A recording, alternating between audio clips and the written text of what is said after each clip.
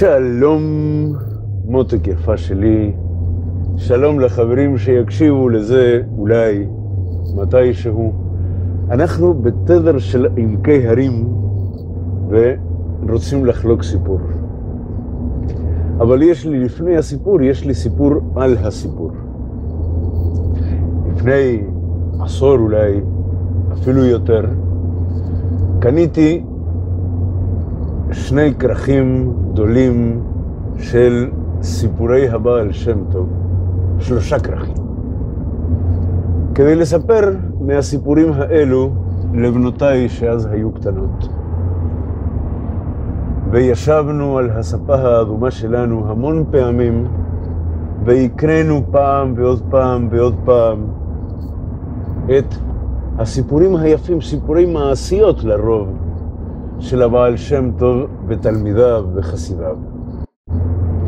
היו מהסיפורים האלו שכל כך היו נפלאים בעינינו, וכל כך אהבנו אותם, שקראנו אותם כמה וכמה פעמים.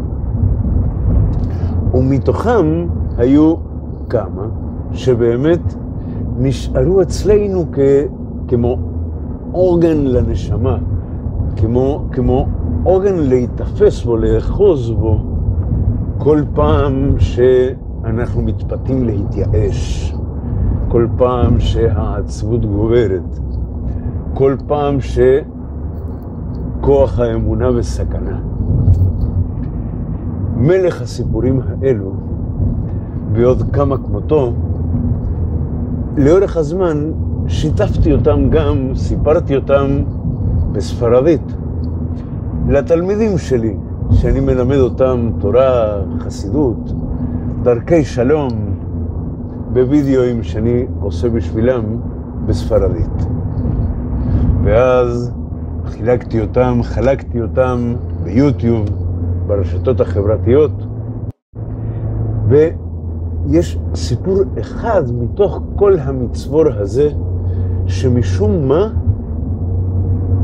אני זוכר, כיניתי אותו בספרדית אל בעל שם טוב y el grifo que solo un grito del שזה רבי ישראל בעל שם טוב והצינור או הברז שרק זעקת הנשמה יכולה לפתוח. כיניתי אותו ככה בספרדית, וזה היה לפני עשור אולי, או קצת יותר, ומאז קרה שהמון אנשים לאורך השנים באים לפתע, מופיעים בחיים שלי באיזה צ'אט, באיזה מסנג'ר, בוואטסאפ, בקומנטס, לסיפור הזה, לוידאו ביוטיוב בספרדית, ומספרים לי כמה שדווקא הוידאו הזה של הסיפור הזה שינה להם את החיים. ומספרים לי פלאי פלאים על איך שזה קרה אצלם בחיים הפרטיים שלהם, שמה שהבינו מהסיפור הזה שינה את חייהם. זה קרה שוב אתמול בלילה. אתמול בלילה אישה, תלמידה שגרה במקסיקו, שהיא לא יהודייה, שכבר לפני עשור סיפרה לי כמה הסיפור הזה משנה לה את החיים. לפתע סיפרה לי שהיא שומעת, מקשיבה לסיפור הזה בפעם המי יודע מה, ושתמיד מוצאת בו סודות חדשים שמחזקים אותה ושעושים לה טוב. ואז מותק שלי, כשהיא סיפרה לי, כשהאישה הזאת, התלמידה שלי, סיפרה לי עוד פעם אותו דבר, אני הבנתי שאני חייב לשתף אותך בסיפור הזה. אז זה מה שאני רוצה לעשות עכשיו. ויוצא להיות שזו הפעם הראשונה, אני חושב, שלפחות הפעם הראשונה בהרבה שנים, שבכלל אני מספר את הסיפור הזה בעברית. ובכלל, בטח הפעם הראשונה שאני מספר את הסיפור הזה בעברית, והמקור לא לפניי. אז אני מתנצל מראש, בחגיגיות על כך שכנראה אני לא הולך להיות ממש ממש נאמן למקור. זה יהיה הסיפור של הסיפור שאני רוצה לספר לך. הוא מסופר כך: היה פעם, בתקופת הבעל שם טוב, באיזושהי עיירה באוקראינה, איש אחד, בוא נקרא לו רב מוישה. רב מוישה חי עם אשתו בבית עני מאוד. היו להם שמונה ילדים. רב מוישה לא היה דווקא מוכשר בשום דבר. לא יצא לו ללמוד הרבה תורה, וגם לא מקצוע מאלו המקצועות שמשתכרים מהם יפה. וגם לא קיבל ירושה או משהו כזה כדי לחיות חיים ברווחה, אלא שהיו חיים, הוא ואשתו, בשמונת ילדיהם,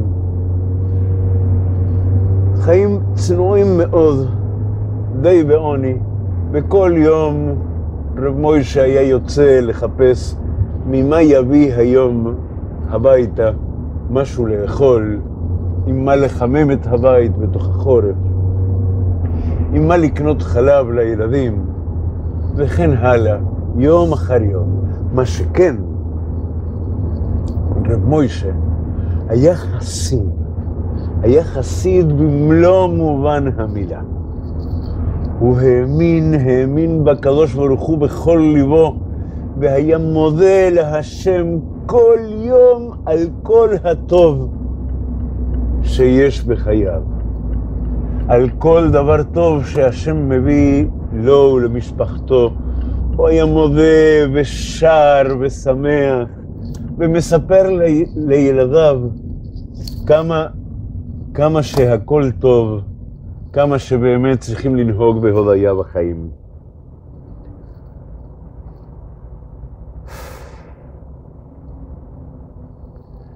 רב מוישה שמע שבעיירת מז'יבוש הרחוקה חי בן אדם גדול מאוד, שממלא את החיים של הסובבים אותו בשמחה, יהיה אשר יהיה. הוא שמע על רבי ישראל בעל שם טוב, שבאותם ימים היה ונהיה יותר ויותר מפורסם בעיירות של היהודים העניים והמיוסרים, שלאו דווקא היו תלמידי חכמים, ושלא ידעו, לא ידעו. אז רב מוישה שמע מאנשים שנוסעים מעיירה לעיירה, כי באותו זמן מן הסתם אפילו דואר רגיל בטח לא היה, ומן הסתם לא היה אינטרנט, לא היו טלפונים, לא היה שום דבר כזה. אז כשמישהו מהנוסעים ממקום למקום היה עובר והיה מספר משהו על מה שקורה במז'יבוש, על התורה החדשה, תורת השמחה, תורה מלאה אהבה, תורה מעוררת, מעוררת לבבות של רבי ישראל בעל שם טוב. אז רב מוישה היה לוקח את הסיפורים האלו, שומע אותם בשקיקה, ואחר כך, כשהילדים שלו היו צריכים, היו צריכים עידוד, היה להם קר, לא היה מספיק אוכל, אז רב מוישה היה מושיב אותם על ברכיו והיה מספר להם את הסיפורים היפים, את התורה הגאולית של רבי ישראל בעל שם טוב. והוא רק חלם שיום אחד, בעזרת השם, הוא יזכה להגיע למז'יבוש ולהכיר אישית את הבעל שם טוב ולבקש את ברכתו. אותו חורף היה חורף נורא וסוער. היה קר במיוחד. הילדים, שמונת הילדים, היו ישנים במעט מיטות, שניים, שלושה בכל מיטה, והיו ישנים צפופים צפופים מתחת לשמיכות בבית הקר, בו כמעט לא היה להסקה, כמעט לא היה עם מה לחמם את הבית. רב מוישה ואשתו ישנו בחדרם, והוא היה מביא כל יום כפי יכולתו מזון לביתו. לא היו חולמים אפילו על בשר, לא היו חולמים על דגים. היה להם איזה מרק דל פה ושם. היו מכינים תה בסיר של המרק. היו מסתדרים עם מה שאפשר. לילה אחד, סערה נוראה בחוץ, שלג, קור אימים, באמצע הלילה נשמעות דפיקות תקיפות בדלת. טוק, טוק, טוק. ומוישה מתעורר בבהלה, הרי הם חיים בעיירות כאלו, איפה שהרבה פעמים אלו שאינם יהודים, אז באים להציק ליהודים, באים להתעלל ביהודים, והוא מאוד פחד, רק זה חסר לנו. אבל הוא קם מהמיטה, התקרב לדלת ושאל, מי זה? מבחוץ ענו לו ביידיש, ואמרו לו, אמר לו מישהו, יהודים אנחנו, אנחנו בדרך וצריכים לעבור את הלילה איפשהו, אי אפשר להמשיך לנסוע עם השלג הזה. רב מוישה פתח את הדלת ומצא מולו כמה יהודים מזוקנים בתוך הקור והשלג שנופל עליהם, ולא חשש ולא היסס, אמר להם, רבותיי, כנסו, כנסו. והכניס אותם הביתה והושיב אותם, ומיהר מיהר להדליק אש עם, עם מה שהיה לו. ושאל אותם אם הם רוצים לשתות משהו חם, וכמובן אמרו שכן, אז הכין סיר גדול ושם על האש עם שקית תה או עם איזה משהו. ואז שאל אותם, מאיפה אתם רבותיי? איך אתם נתקלתם פה? אז אחד מהם, שכנראה היה המנהיג שלהם, אמר לו, אנחנו באים ממז'יבוש. ונוסעים לעיירה, ואמר שם של עיירה אחרת, ופשוט נתקענו בסופה הזאת, באמצע הדרך, ולא יכולנו להמשיך. ואז רב מוישה רק שמע מז'יבוש, ואמר, מה, אתם בטח מכירים את רבי ישראל הבעל שם טוב, ואתם שמעתם עליו מלא דברים. בואו, ספרו נא לי, ספרו נא לי. ספרו לי על הבעל שם טוב, בבקשה, אנא מכם. ואז הזה שהיה נראה המנהיג שלהם אמר לו, יבין כבודו, אנחנו באים מדרך ארוכה, עייפים מאוד אנחנו, אם רק תוכל להניח לנו מקום לישון, אז בעזרת השם, מחר יהיה יום אחר, ונראה מה יהיה. ורב מוישה התבייש נורא על החיפזון שלו ועל שהפצירו בהם, ואמר להם, בטח, בטח, רבותיי, והלך אמצע הלילה, הלך להעיר את ילדיו, הקים את כל הילדים שלו מהמיטות שלהם, והביא אותם למיטה שלו ושל אשתו, והוא ואשתו הלכו לישון על הרצפה הקרה, והכין את המיטות של הילדים שלו לאורחים, ונתן להם לישון שמה. בחדר של הילדים.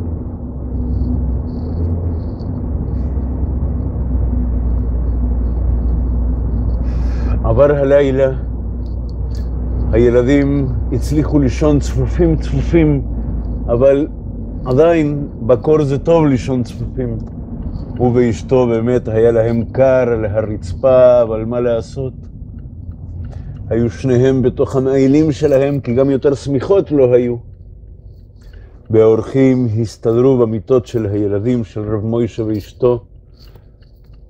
קמו בבוקר, יצאו, בואו נקרא לזה סלון, שלא ממש סלון היה, אבל היה שולחן וכמה כיסאות רעומות, והתיישבו שם, אחרי שכנראה התפללו בחדרם. ולא, אני אתקן את עצמי, בבוקר מוקדם פשוט רב מוישה ניגש אליהם לראות מה שלומם, ואז הצטרף אליהם לתפילה. ואחרי התפילה, מן הסתם, האורחים ישבו על השולחן, ישבו על השולחן וחיכו לארוחת בוקר להגיע. ורב מוישה הושיב את ילדיו על הרצפה מחוץ לשולחן, כי השולחן תפוס, ואפילו לעצמו לא, לא, לא, לא, נותרה כיסא. אז הוא ואשתו והילדים התיישבו איך שיכלו על הרצפה, והוא הכין וחיפש ומצא עם מה להכין תה לאורחים, ומהשארית גם לו ולילדיו ולאשתו כבר תה ללא טעם של כלום. והיה קצת לחם בבית, ואז אה, פרס מהלחם שכבר היה קצת קשה לאורחים, ונשאר מעט מאוד לו ולילדים, ואכלו כאילו מפירורים מהשאריות.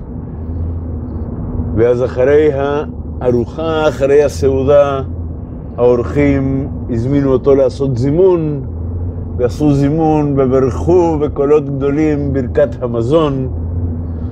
ובדיוק סיימו ברכת המזון ורב מוישה חשב, או, oh, עכשיו אני אבקש מהם לספר לי סיפורים של הבעל שם טוב, והוא ניחם את ילדיו. עכשיו, עכשיו בטח הם יספרו לנו, הם באים ממז'יבוש, הם יספרו לנו על מעשיות של הבעל שם טוב ואנחנו נתברך בהם.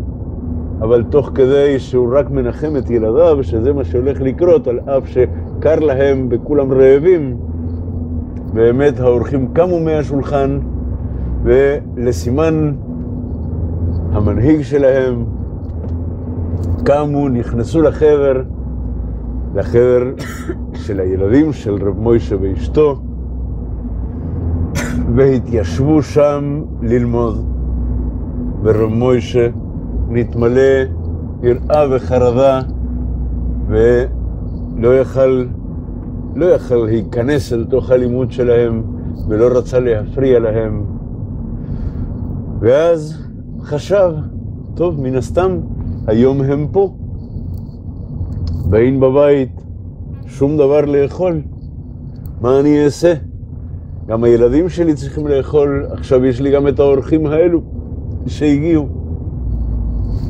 יצא וקיבץ צדקה והשיג בהקפה וחזר הביתה והצליח לארגן איזה סיר של משהו ולטפל בכך ולארגן את השולחן ואז הגיע צהריים ולפני תפילת מנחה האורחים הפסיקו את הלימוד ויצאו מהחדר ובאו והתיישבו על השולחן וחיכו לאוכל. אז באמת רב מוישה הביא להם לאכול והביא ממה שנותר גם לאשתו ולילדיו ולעצמו שהתיישבו כולם על הרצפה כי יש אורחים מכובדים, בני תורה שבאים ממז'יבוש ובטח הם הולכים לספר לנו מהבעל שם טוב ומכל תורתו החדשה ומכל השמחה שלו ומהתורה הגאולית שלו ואיך שכולם שמחים סביבו בעולם הזה שכל כך מלא בייסורים, זה כל, דבר כל כך חשוב וגדול להצליח לשמוח בעולם הזה, בזמן הזה. ועוד פעם סיימו לאכול, אמרו ברכת המזון, ולפני שהוא פצע פיו לבקש משהו, לסימן המנהיג שלהם, קמו האורחים שלו ונכנסו אל תוך החדר. וישבו לדבר דברי תורה. ורב מוישה לא העז להיכנס לדבריהם או להפריע להם באופן כלשהו. וחשב שעוד פעם הוא צריך, מן הסתם לא הלכו עכשיו במשך היום, אין מצב שהם ייסעו במשך הלילה. אז מן הסתם הם נשארים עכשיו. אז הוא חשב עוד פעם, נו, בלילה כולנו צריכים לאכול. אז הוא חיפש בבית מה יש למכור.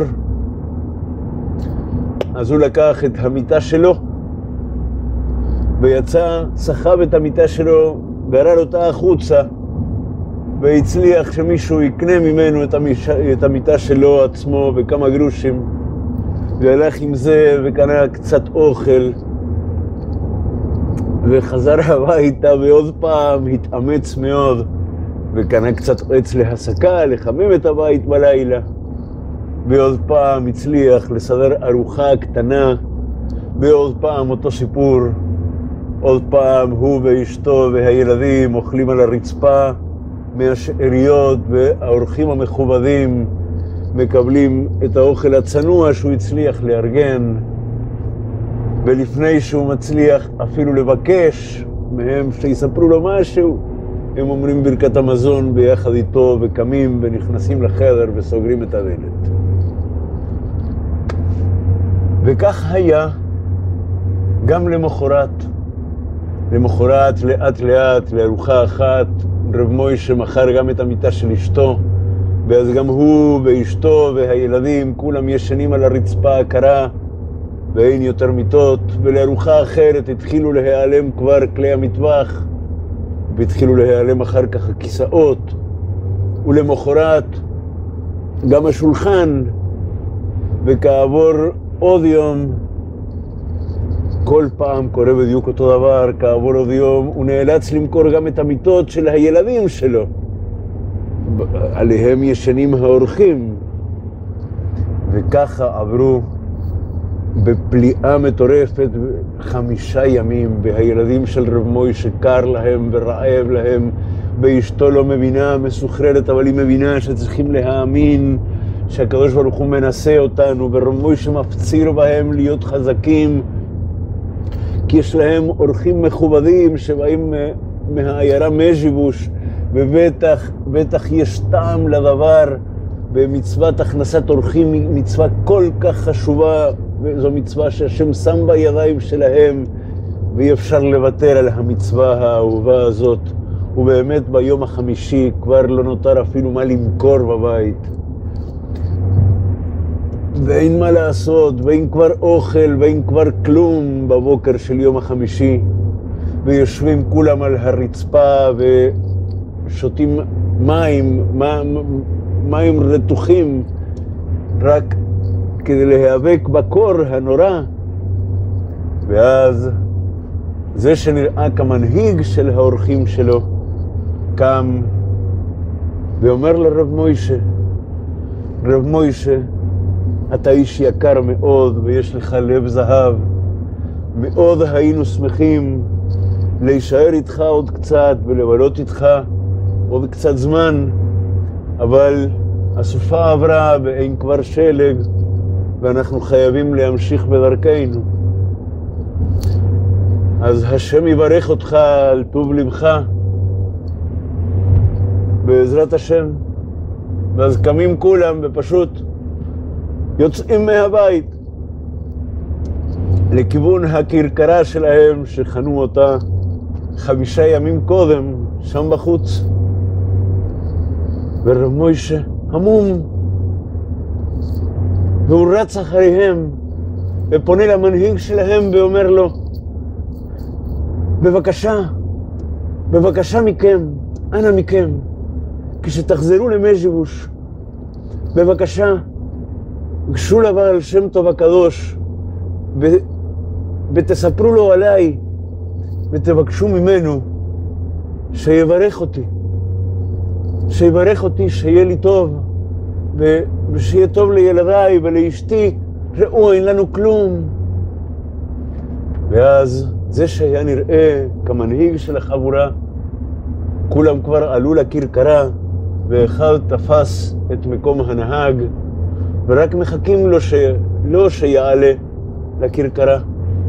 הוא מביא את רב מוישה ואומר לו, דע לך, רבי ישראל בעל שם טוב, זה אני. השם ימלא אותך ברכה עד בלי די. וקם על הכרכרה ונסע. ורב מוישה, רב מוישה, מה יעשה רב מוישה? רב מוישה נכנס הביתה, אל הבית הריק, השומם, עם ילדיו, שהבטן עושה, עושה להם רעש. וקר לכולם, ואין כלום בבית. ורב מוישה נכנס אל תוך ביתו, רוקד וצוהל, ואומר לאשתו ולילדיו, אתם לא מבינים מה היה פה. רבי ישראל בעל שם טוב היה האורח שלנו חמישה ימים, איזו ברכה, איזו ברכה מדהימה.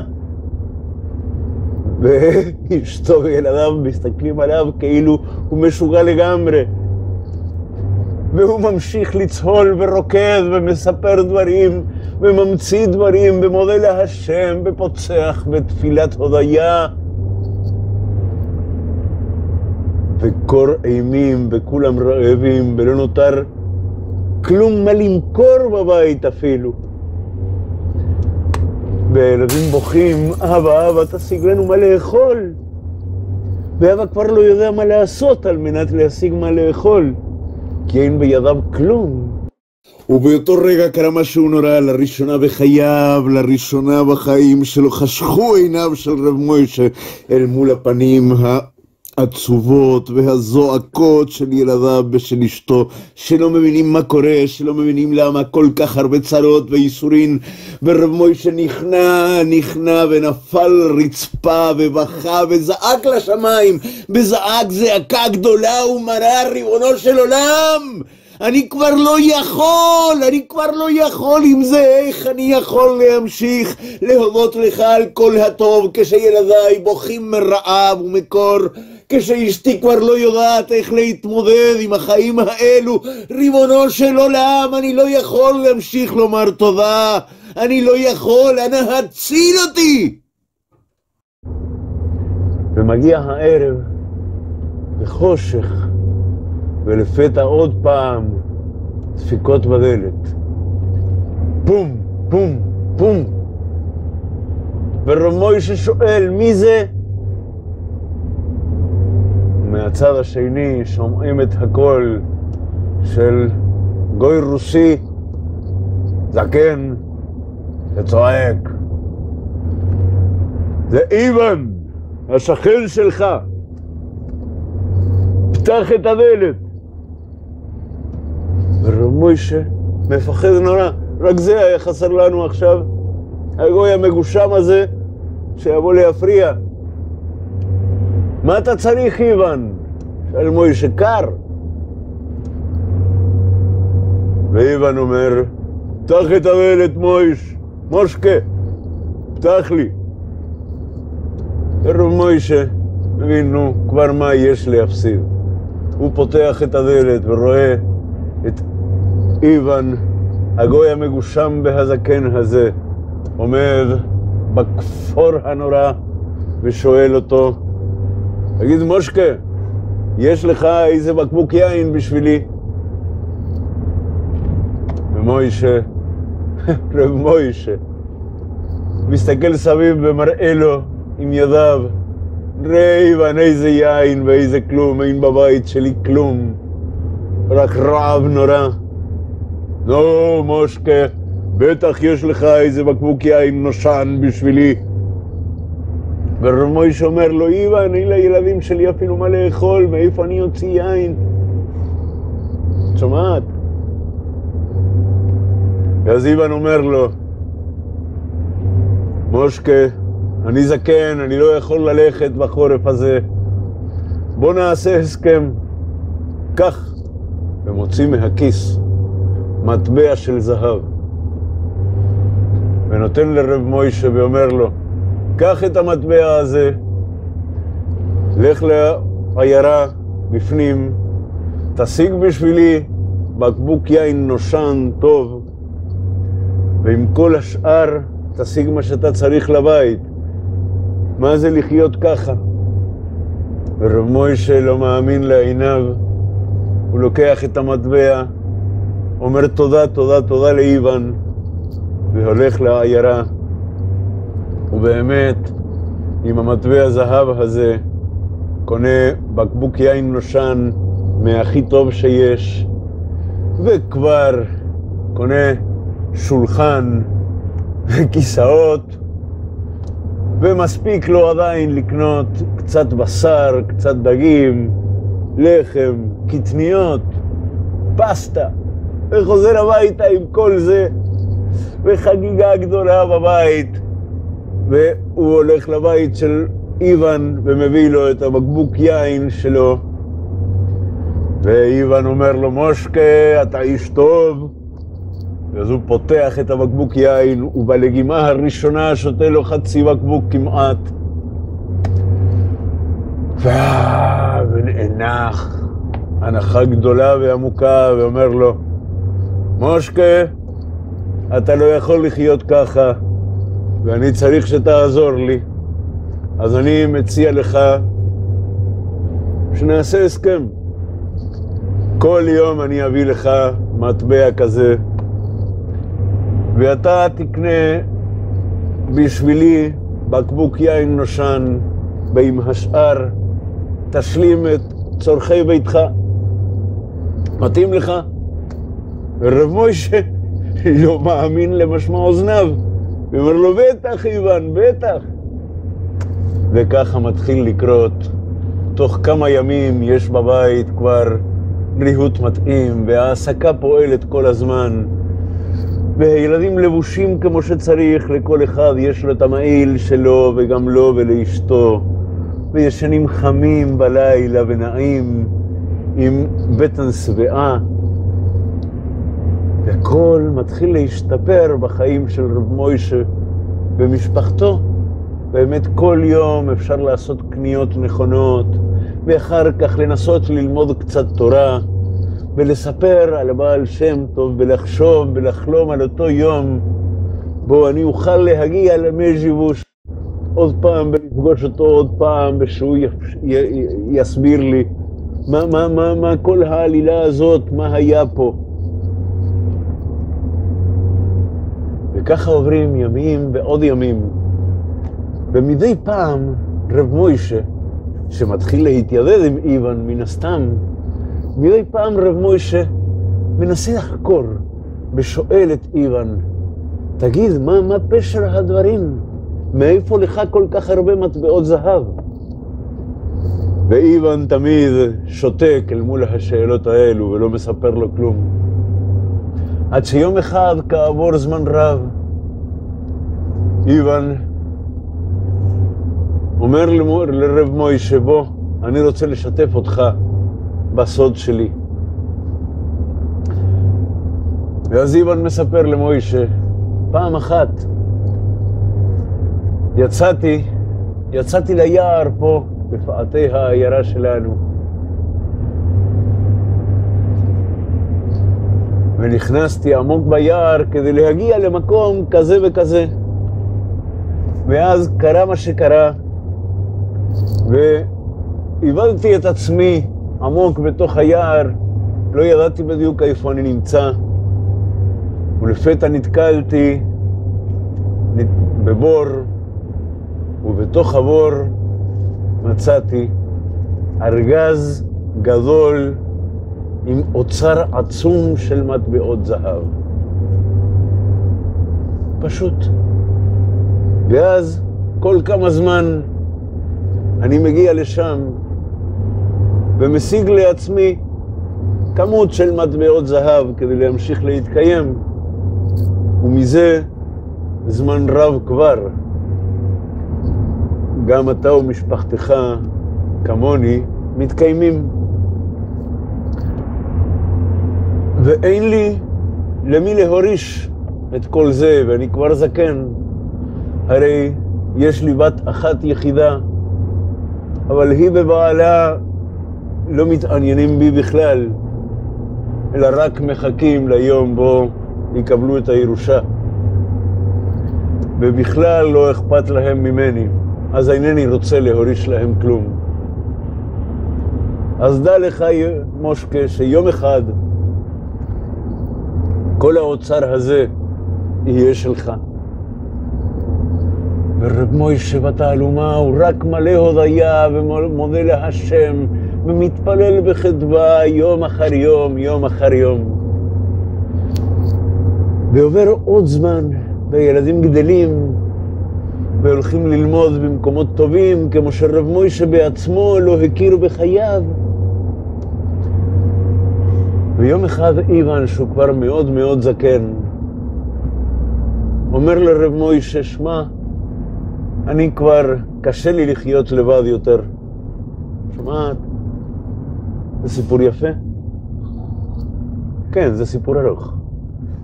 אז איוון אומר לרב מוישה, אני כבר זקן כדי להמשיך לחיות ככה לבד. יש לי בקשה בשבילך. אנא ממך, תן לי שאני אבוא. רב מוישה כמובן כבר גר בבית טוב יותר, ויש חדרים לילדים, ויש עליית גג.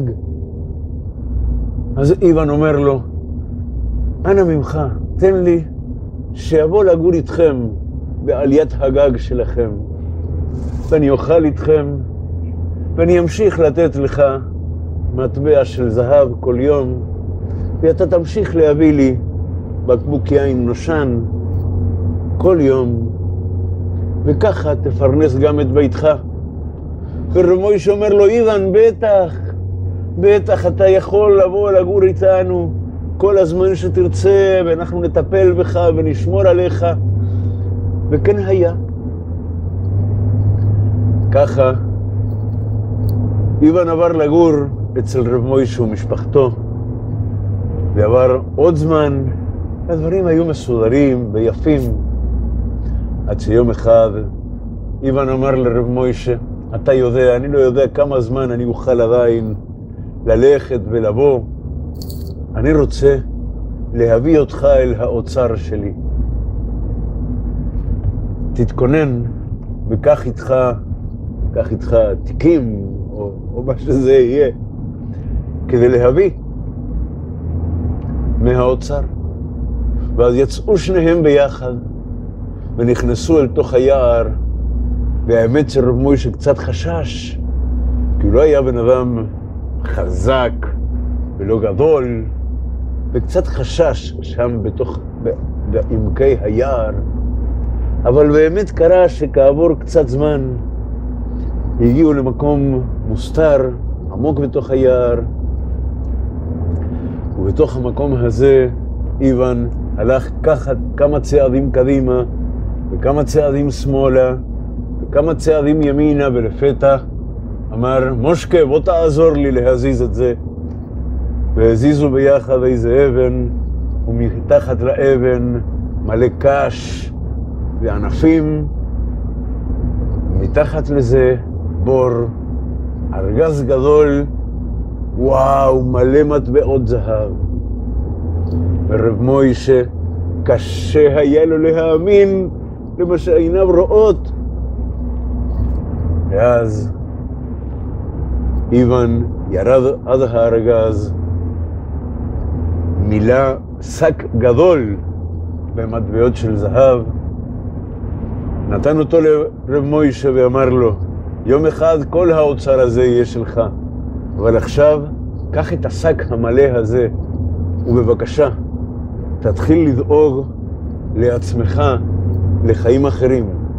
צא, קנה נחלה, קנה שדה, תבנה בית. בבית הזה, אנא ממך אבנה גם מקום בשבילי, ותדאג שיהיו לך עצי פרי, ושיהיה לך מקנה וצאן ובקר ועיזים, ושים ידך, שלח ידך גם במסחר, והפוך, הפוך את עצמך לגביר שמיטיב עם העולם ושחי בטוב. ובאמת, כן היה. כעבור זמן מה, סיימו לבנות בית מפואר עם שדה גדול, גדול, גדול סביבו, לפאתי העיירה, ורב מוישה הפך לבעל צדקה גדול, וילדיו היו כולם שמחים ולמדנים, וחיו כולם באושר, ולאיוון היה באמת יחידת דיור בתוך הבית, מקום נפלא ונוח לו, והיה ממשיך לקבל גם אוכל, וגם שמרו עליו, וגם בקבוק יין נושן כל יום, וחי חיים שמחים. וכעבור עוד קצת זמן, מן הסתם, בוקר אחד כולם קמו ממיטותיהם, אבל איוון לא קם. כי הלך לעולמו במשך הלילה. אז רב מוישה ומשפחתו נתנו לו קבורה בכבוד גדול, ולמחרת רב מוישה לקח את בנו הגדול עד עמקי היער, ואספו פשוט את כל האוצר והביאו אותו אליהם. וככה המשיכו לחיות וזכרו וכיבדו את זיכרונו של איוון, וחיו באושר ועושר, ורב מוישה ואשתו זכו לחתן בטוב את ילדיהם ביום אחד. רב מוישה אמר לאשתו, זה כבר זמן שאני אסע למז'יבוש, לפגוש שוב פעם את הבעל שם טוב הקדוש, להודות לו ולבקש ממנו שיסביר לי את פשר החיים שחיינו האלו בשנים האחרונות. ואשתו הסכימה לו, ואז הוא באמת ארגן כל מה שהיה צריך, והגיע לעיירה מז'יבוש על הכרכרה שלו, כרכרה באמת של גביר, וירד מול ביתו של הבעל שם טוב. ושם בדיוק באותו זמן היה כינוס גדול, הבעל שם טוב ישב בראש השולחן וכל חסידיו הקשיבו לדבריו כשרב מוישה הופיע שם בפתח. והבעל שם טוב קם מכיסאו, ואף אחד שמה, היו שמה כל האלו שליוו את הבעל שם טוב כמה שנים קודם, עד לביתו, עד לביתו של רב מוישה. אבל אף אחד לא יכל לזהות את רב מוישה שהוא אדם חדש לגמרי. רק הבעל שם טוב זיהה אותו וקם מכיסאו והלך לקראתו לתת לו כבוד וחיבק אותו ושאל את חסידיו, האם אינכם מזהים את רב מוישה? וככה הצביע על אלו התלמידים שלו שהיו כמה שנים קודם איתו שם, ואמר להם, אתם לא מזהים את האיש הזה שהגענו אליו באמצע חורף נורא, ופשוט נכנסנו לביתו ושדדנו אותו. הוא אירח אותנו ביראת כבוד, ואנחנו לא זזנו משם עד שלא נשאר לו כלום, אפילו פירור לחם לתת לילדיו.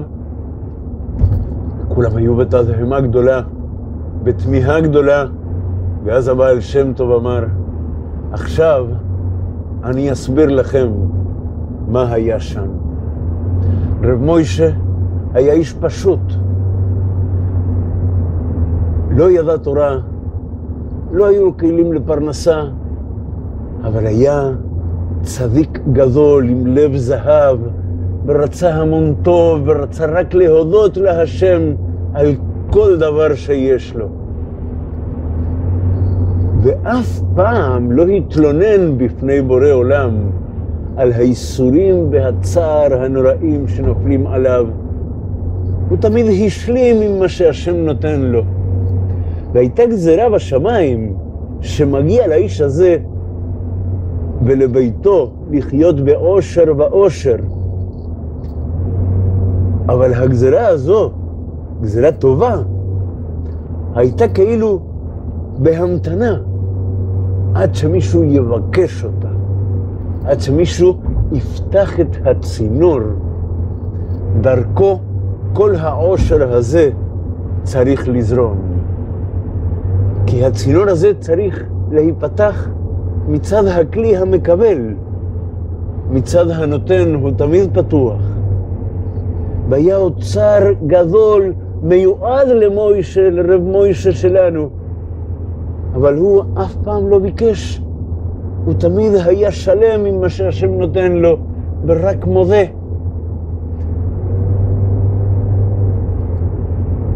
וקיבלתי במתנה לראות את זה בחלום, והחלטתי שאני חייב להתערב וליישר את המצב, לעזור לרב מוישה ליישר את גורלו ולקבל את מה שמגיע לו.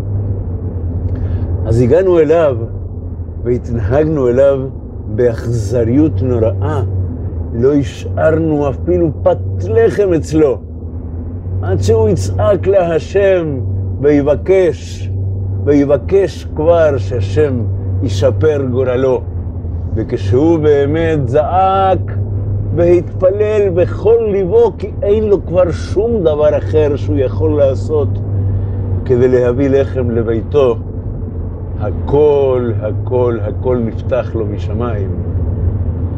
והנה רב מוישה שלנו היום הוא גביר ואיש צדקה וחסר כיאה לו.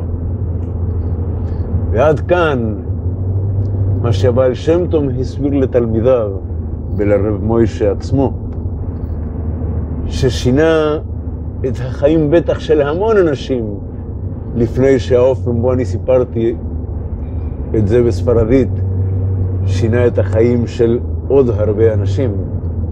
ועכשיו, זו המתנה שלי אלייך יפתי, אלינו, שנדע להשפיע, שנדע להשפיע ולבקש את מה שבאמת מגיע לנו,